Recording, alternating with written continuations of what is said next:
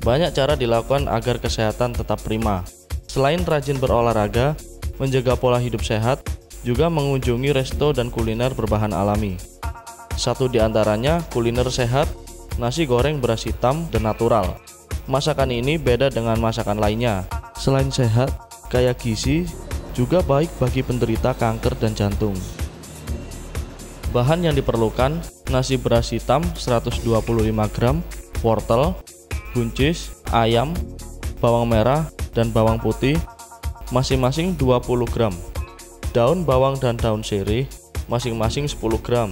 Cabai merah besar dan emping garut 15 gram, telur 30 gram, kunyit dan viko 5 gram, ditambah yes, aminos, dan natural salt secukupnya.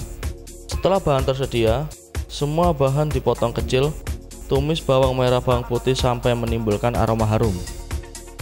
Masukkan telur yang sudah dikupas, aduk jadi satu. Tambahkan daging ayam, bumbu kuning, kunyit, kencur, serai, dan cabai merah.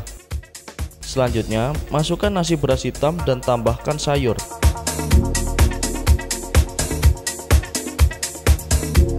Setelah matang, angkat dan cetak dengan menggunakan alat berbentuk kerucut. Nasi goreng beras hitam siap disajikan.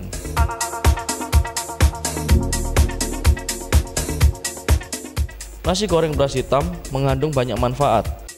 Bagus dikonsumsi untuk penderita jantung dan kanker karena memiliki kandungan antioksidan dan antosianin.